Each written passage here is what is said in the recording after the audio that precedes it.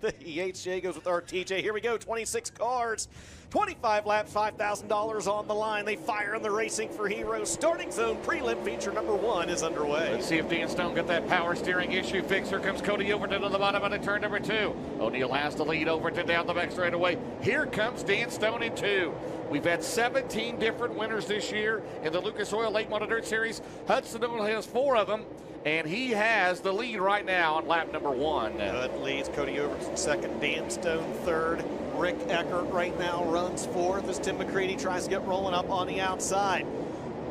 Fifth spot right now is McCready over Dalton Wilson. Mason Zeigler currently sits in seventh. There comes Dalton Wilson down to the inside of McCready. James, a battle for fifth. As your race leader, Hudson O'Neal is going to sidestep the 10 of Dave Stam. He puts that car one lap down, and that car is now a buffer between himself and your second place driver, Cody Overton. Overton going to work his way by Stam going into turns three and four. Try not to lose much ground to Hudson O'Neal. O'Neal had seven tenths of a second on Cody Overton that last time by. This time by nine laps going up on the Bobby Rahal scoreboard. Eight tenths of a second the advantage for the new deal. O'Neal works the bottom on the truth, and he does. And Greg Satterlee goes a lap down here in this first feature. And James trouble for Dan Stone, who is running very strong at the front of the field as he has made the hard left-hand turn into the infield as well. His race is finished, as is the case for the 11 of Spencer Hughes. He's called it a night as you've got a new fourth place car. The 20 RT of Ricky Thornton Jr. works by Tim McCready. James this time by seven to go. See if he's got enough time to catch Rick Eckert. Don't know that he's got enough time to catch Hudson O'Neal, James, because as O'Neal crosses the stripe, popsicle sticks in the air. Two laps to go for the driver out of Martinsville, Indiana. Well, Thornton needed a caution last night, and he got it. He came from sixth on a restart to get the win, but right now Hudson O'Neal, oh, that was close. Down the main straightaway, maybe contact. As you see on the bottom there, is that Dylan Stake in the 19 D19 cars. He goes down the back straightaway into turn number three. Final lap, Dustin, in this first 25 lapper. That is Dylan Stake. It is Dylan Stake, and that is Hudson O'Neal as he comes off corner number four. Checkered flags out. He's going to win the Group A feature. Hudson O'Neal gets it done in the first prelim tonight at Port Royal. Second, We'll go to Rick Eckert.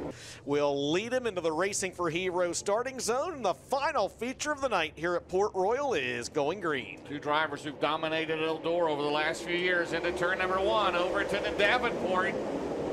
At the Racing three-row start zone, and Davenport pushes up the track. Here comes Marlar through the middle. Mike Marlar second last night in the, excuse me, third last night behind Overton and your winner, Ricky Thornton Jr.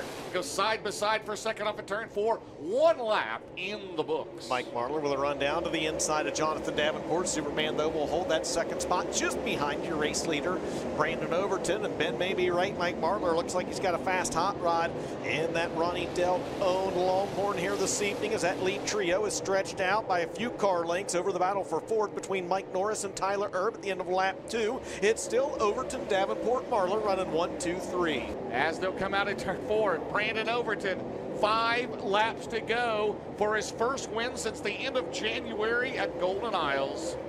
Overton that time by with a one second advantage over Mike Marlar. Marlar trying to keep the 49 of Jonathan Davenport behind him. Davenport got that good run down the back straightaway. That was the battle for fourth momentarily under screen as Michael Norris takes that spot back away from Chris Ferguson and James. Another fantastic battle for second with four to go. A good starting spot in one of those six heat races here tomorrow night. Watch turn number two. We see it at Florence and Eldora, the run for Davenport. He's on the gas. Marlar switches lanes. Davenport to the bottom of the side by side into turn three with four to go. Davenport going to clear him, at least momentarily, as he drives way up the racetrack. And yes, Jonathan Davenport back up into second.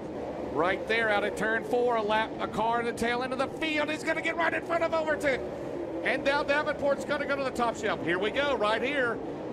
White flag next time. Here comes Jonathan Davenport. Davenport's got to run down the back straightaway. He'll try to close in on Brandon Overton. Overton maybe a little bit of damage on the right rear of that race car.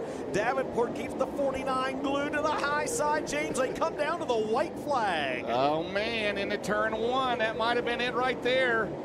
As he's pulling away, Marlar goes to the bottom. They're side by side at turn two for second. Here comes Davenport. One last chance, Dustin Jarrett. Got to run down the back straightaway. As they hit through turns three and four for the final time, Davenport will go up top. He's going to try to get a run down to the bottom. Here they come, a drag race to the line. It'll be Overton getting the win. Davenport second, Marlar third.